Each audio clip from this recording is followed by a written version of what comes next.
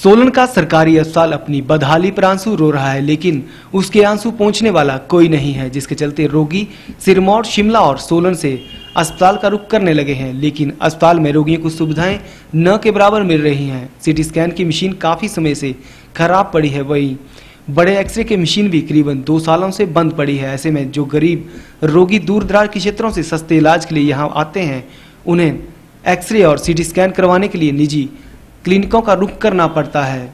जब इस बारे में नवनियुक्त M S S L Verma से पूछा गया तो उन्होंने माना कि एक्सरे की बड़ी मशीन और सीटी स्कैन मशीन काफ़ी समय से बंद पड़ी है, क्योंकि ये मशीनें बहुत पुरानी थी, इसलिए इन मशीनों को अब बदला जा रहा है, जिसके लिए अस्पताल प्रशासन ने ये मांग प्रदेश सरकार के समक्ष रखी है।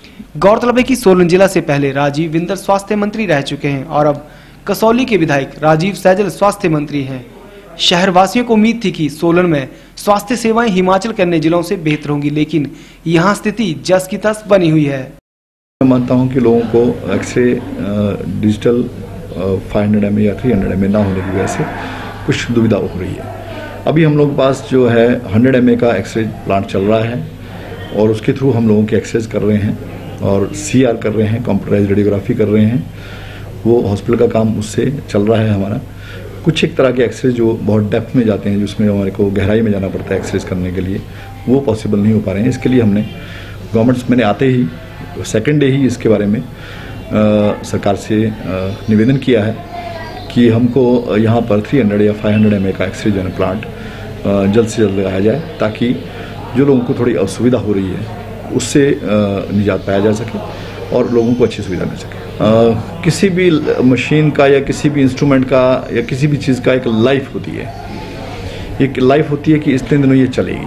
तो मैं देख रहा हूँ कि 20 साल पुरानी ये मशीन है हमारे पास एक्से मशीन तो हम कई बार इसको ठीक करा चुके हैं। अब जो मैकेनिक्स हैं, इसके जो टेक्नीशियंस हैं, उन्होंने भी अपने हाथ उठा दिए हैं कि ये मशीन अब और नहीं चल पाएगी क्योंकि बहुत पुरानी है।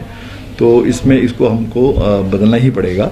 तो जिसके लिए हमने सरकार को बार बार निवेदन कर रहे हैं और, जल्दी ही ये सरकार के संज्ञान में है।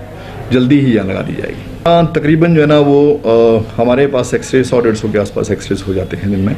इससे भी ज़्यादा हो जाते हैं। तो वो एक्सरेस हो रहे हैं। सी स्कैन का भी वही मुद्दा है कि सी स्कैन भी 20 साल पुरानी है हमारे हम लोगों के पास। और उसके बारे में भी आ, हमने सरकार को लिखा है। आते ही मैंने दो ये दो मुद्दे जो है ना तुरंत उठाए हैं। कि हमारे पास एक्सरे प्लांट थ्री हंड्रेड और फोर हंड्रेड का चाहिए। और सी स्कैन की जो टेक्निकल कमेटी है, उन्होंने लिख के दिया है कि किस तरह का हमारे को सी स्कैन यहाँ चाहिए। उसके लिए भी सरकार को अवगत कराया और सरकार के पूरे ध्यान में है ये चीज़, क्योंकि ये सब लोगों की सुविधा से जुड़े हैं, इसलिए सरकार के भी संज्ञान में रहता है और सरकार के पूरे एफर्ट्स होते हैं कि इसको जल्दी से जल्दी लगाया जाए। तो मैं ये भी कोशिश कर रहा हूँ कि हमारे जो एक टीम है हमारी डॉक्टर्स की, वो माननीय हमारे जो है स्वास्थ्य मंत्री जी से इस बारे में बात करेंगे कि हमारे लोगों की सुविधा के लिए ये जल्दी जल्दी इंस्टॉल हो जाए यहाँ पर।